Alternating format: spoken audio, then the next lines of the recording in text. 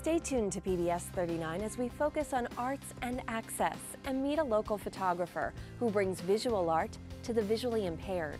Plus, we explore an organization that makes art more inclusive in schools. We introduce you to the mother daughter duo behind Mikayla's Voice and its program, Wheels of Friendship.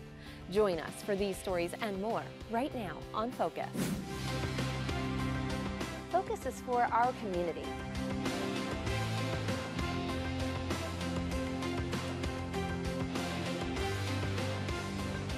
Focus showcases the people, the places, and the issues that matter to you. Focus on what matters. You never know what you're going to see when you tune into Focus. Support for Focus is provided by Univest, banking, insurance, investments, and by viewers like you. Thank you.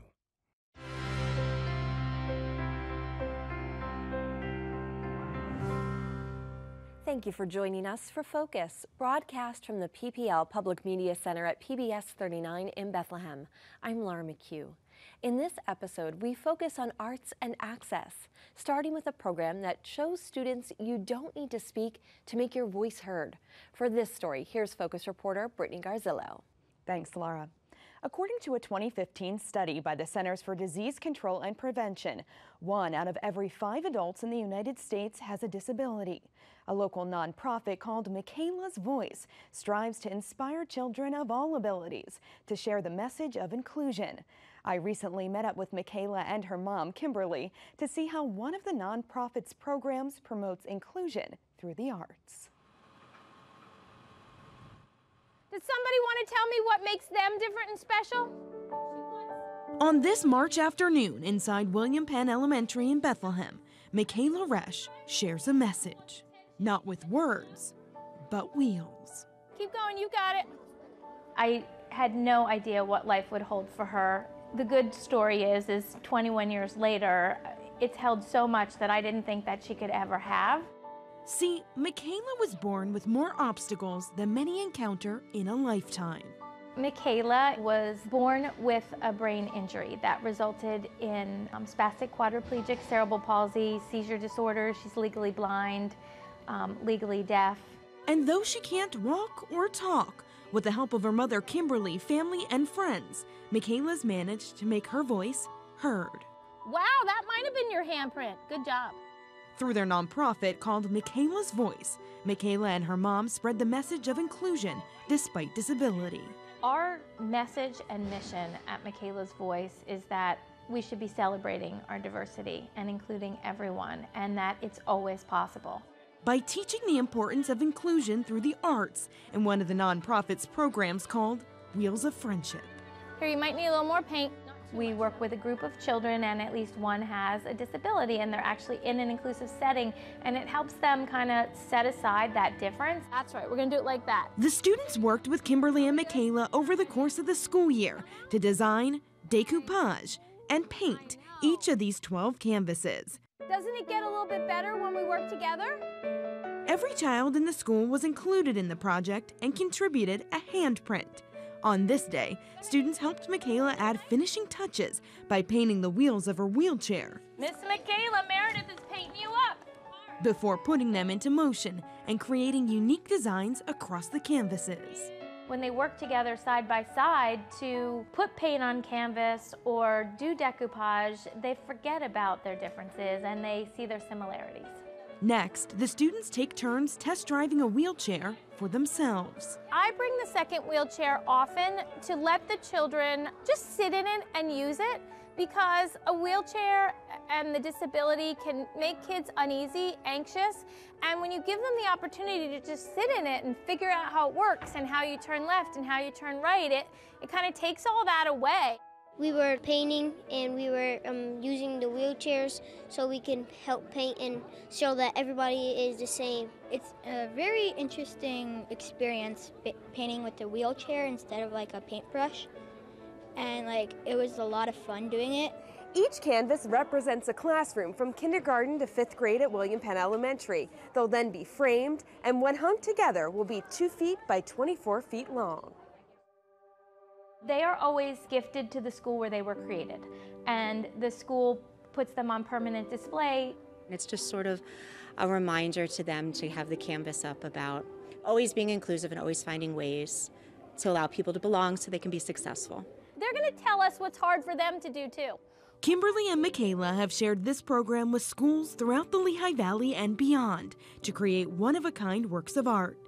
Recently, half size prints of many of the paintings were displayed at Lehigh Valley Hospital Cedar Crest in Allentown. We are a children's hospital within a hospital, and we support all children uh, regardless of their differences, and we celebrate many things that help improve the health and well being of all children. And we know that art therapy is very, very important to that. Incorporated into the paintings are messages of friendship, love, and for Kimberly, hope. I think hope that we are moving forward it can be really frustrating because no matter how much progress we make towards teaching people to include, I, in every day, I see times where people aren't inclusive. But she says that doesn't make her feel bitter. Rather, she feels blessed. I am blessed because of Mikayla's voice to know dozens, if not hundreds, of children with all sorts of disabilities. It's a blessing that I wish everybody had. What do you think she'd want to say? I just hope that we can do our little piece to make our community and our world more inclusive.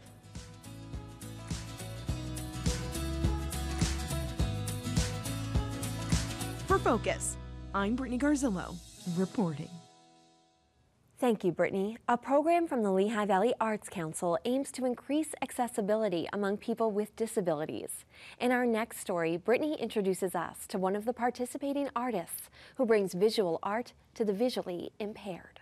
As he walks a path through a late winter landscape, Stephen Sunick is on the lookout. So we need to kind of look for something that's open, but nothing that stands out too much or is too unique. Not for someone, but for something to capture in his next photograph. Many landscape photographers search for beautiful settings, but you look for. What I'm really looking for is the mundane and a way to make those mundane places that we normally overlook monumentous. By making the most out of what many would only notice for a moment. See, these are kind of things that you're looking for. A nice path to go through, trees, like these will be in the foreground, they'll stick out a little bit more. And you just as you touch the trees here with the bark, you can actually feel that within the photograph itself too. He's not just speaking figuratively. You can literally feel his photos. My real intention was to give people an experience that they've never seen before. And the fact that, you know, you can give sight in a way to the visually impaired that is a byproduct of the entire work. His photos allow those with visual impairments to experience the visual arts. That's amazing. That's what Tina Talou experienced during Sunick's exhibit entitled Life Accessible at the Banana Factory in South Bethlehem.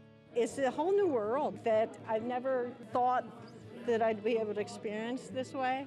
I take pictures at home. I have enough vision that through a camera lens that I can take pictures, but I have to make them so large in order to try to figure out what they are. And here, I'm closing my eyes and feeling, feeling moss in a photograph that it's soft like moss is outside. Sunick captured these eight photographs at Yellowstone National Park and uses what he believes is a proprietary printing process to make them three dimensional. Unlike most art exhibits, Stephen encourages his audiences to get up close and personal with his work, to not only see, but to touch and feel each piece. The people are what make the photographs powerful, not the photographs themselves. So can you feel the clouds? clouds Yes, feel yeah, the you can feel the clouds. this. Yeah. The one large picture I was able to feel the clouds, which is, you know, amazing. I love it. It's an interesting concept. It's very detailed. I'm glad that it's here. Jeffrey Gerhard is part of a group from the Center for Vision Loss in Allentown, here to experience Sunick's work firsthand. This three foot wide photo, entitled Barren Ground, took Sunick about 14 hours to print. Using ink density of black ink, I print layers of black on top of a aluminum composite substrate and build up the layers to get the texture and the thickness of the different attributes within the image. Sunick, a full-time printer at his family's sign company, spends anywhere from 8 to 16 hours printing each one of his photographs. Each one has about 20 to 30 layers of paper-thin ink that cause various textures.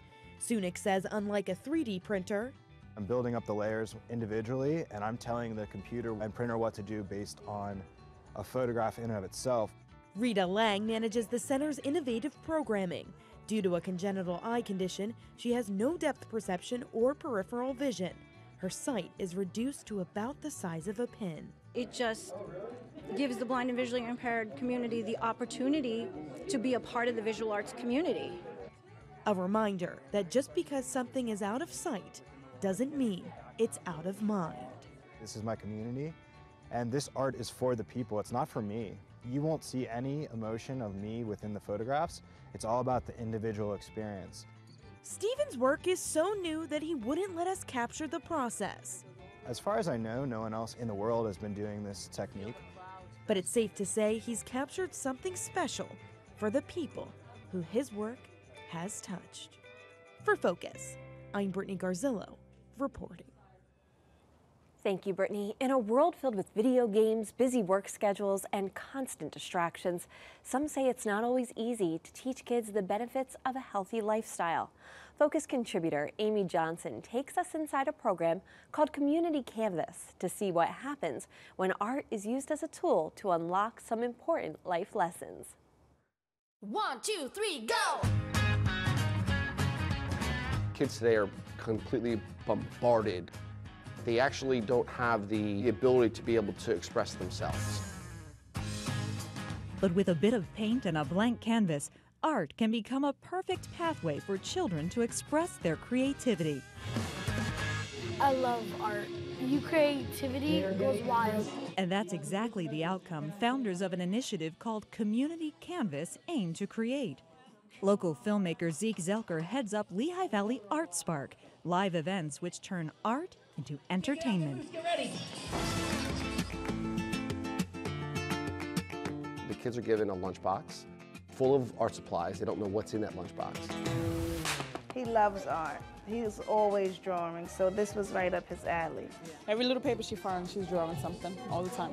You gotta look fancy, you gotta look good. Staff members from Children's Hospital at Lehigh Valley Health Network partnered with Zeke to create Community Canvas, an outreach program designed to educate children about healthy living.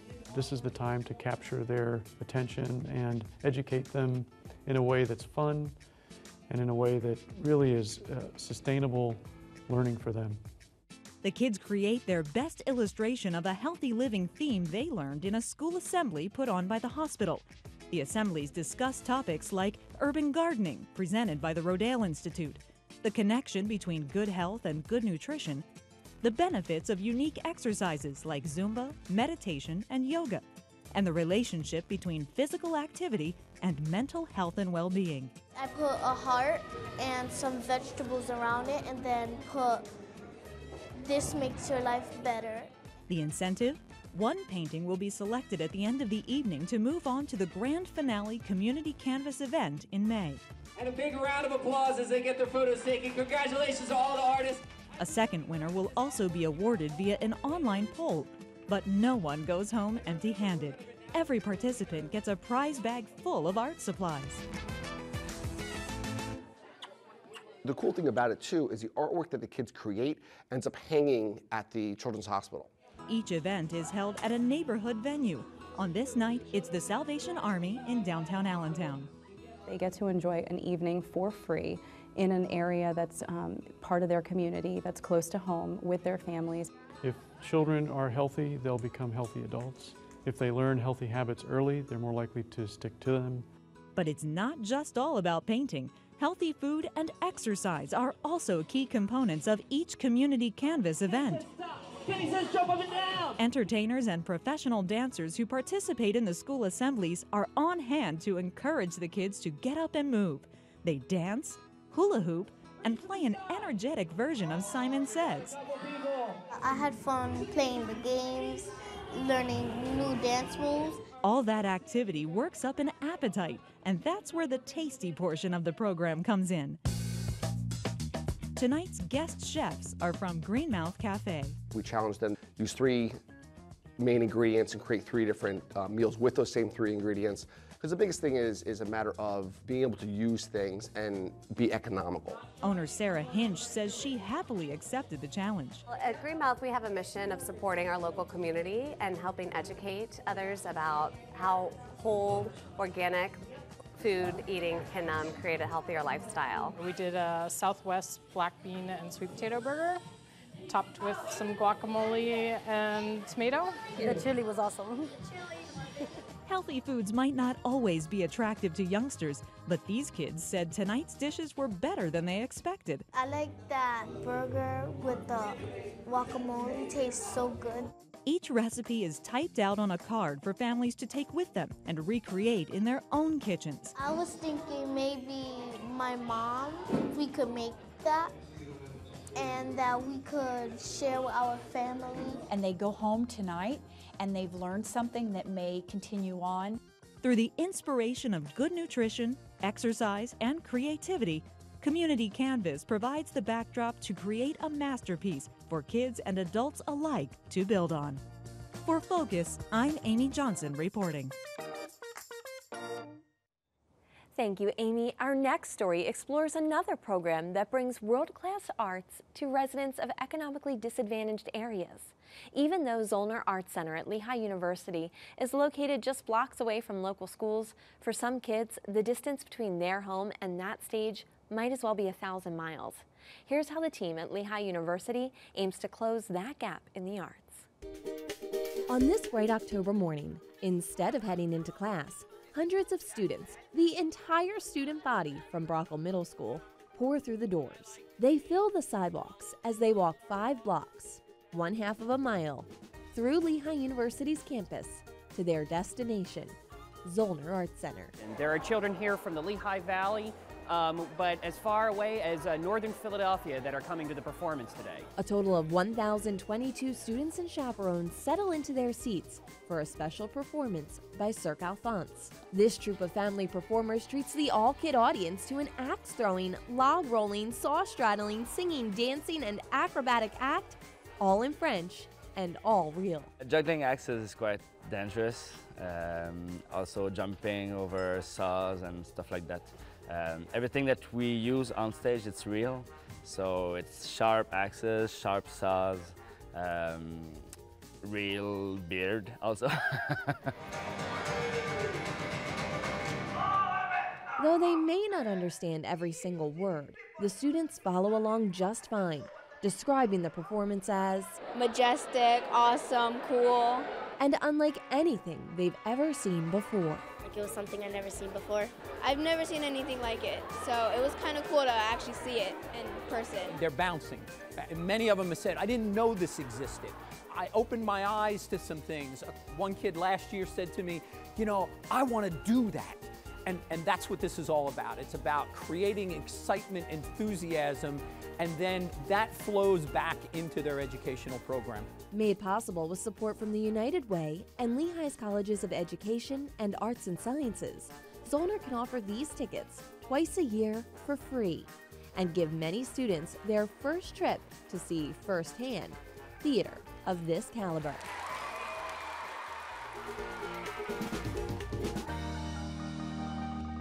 Our next story explores an art program that takes fine art and supersizes it to add a pop of color to your daily commute. Focus reporter Brittany Garzillo joins us to explain.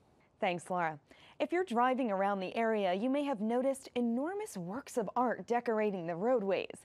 We met with the program's organizers in 2015 as they first unveiled Art Pop.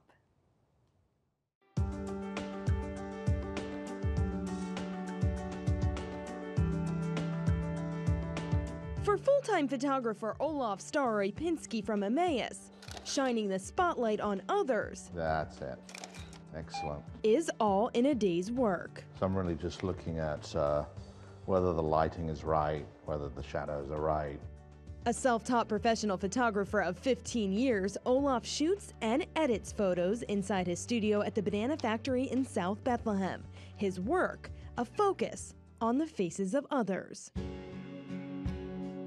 I just find people really interesting, and they don't have to be, you know, models or famous people, just normal, regular people uh, is what I really enjoy photographing. Launched in January of 2015, a new public art program in the Lehigh Valley puts the spotlight on area artists like Staroy Pinsky by showcasing their work on a more sizable scale billboards. It, it's a fantastic way of putting art right in front of people's faces. Staroy Pinsky is one of six local artists selected as part of the inaugural Art Pop Lehigh Valley Billboard Competition. Launched by Adams Outdoor Advertising of the Lehigh Valley and the nonprofit Arts Quest, the program highlights local artists and the role of arts in the community. This is a great way to shine the spotlight on our very talented artists who live and work here in the uh, Lehigh Valley and surrounding region. On this day, a crew from Adams Outdoor Advertising unveils their latest vinyl alongside US Route 22. A 14 by 48 foot enlargement of Staroy Pinsky's photograph titled Faces of the Lehigh Valley. I think people are very busy. I think they're very stressed. I think they have a lot going on in their lives, and sometimes they don't have time for art.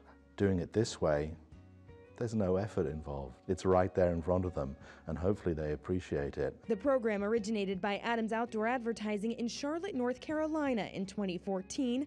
Art Pop Lehigh Valley is the second Art Pop program. We're so blessed to have so many great artists in the Lehigh Valley that we thought that the program would just be a natural fit for our area, and it has been. We had 80 artists who submitted works for this competition, um, and we selected six total artists whose works are now on display throughout the community. But you know, there was such an incredible diversity of styles, mediums, and just a wonderful showcase of the entire community. The pieces showcase an array of artistic style, from oil to acrylic. I think outdoor is the last great mass medium, and, and it is a blank canvas until somebody puts an ad on it or a message. And many of these artists have never seen their artwork transposed to that size. So when, you, when they see it, they're blown away by it. That was the reaction Michael Hess of Allentown had when he saw his painting titled Lilith on Crimson for the first time on billboard scale. The enlargement of his original 20 by 24 inch oil on canvas towers above US Route 222. It's very surreal. It's an amazing feeling to see it sitting there. Hess, a graphic designer who started painting about three years ago, says he never imagined his work would be selected for mass display. In his studio at home, Hess uses both brush and fingertip as he fine tunes details in his next piece. The majority of these I've probably done more with my hands than brushes in some cases. I think it's probably raising a lot of awareness of the art community in the Lehigh Valley, and it is, there's a big art community here. I think a lot of people aren't aware of it. And hopefully people are going to notice these incredible artists and this incredible work of art as they drive, and it'll make them think about the wonderful artistic resources and the wonderful artists that are right here in the Lehigh Valley. On display until the end of the year, both Hess and Staroy Pinsky hope their featured work will inspire others to find the artists within themselves and hopefully it's a starting off point maybe for getting into photography or appreciating painting or whatever it happens to be. Perhaps prompting passions with a passing glance. For Focus, I'm Brittany Garzillo reporting. Thank you, Brittany, and thank you for joining us. We'll see you next week. Until then, remember to focus on what matters.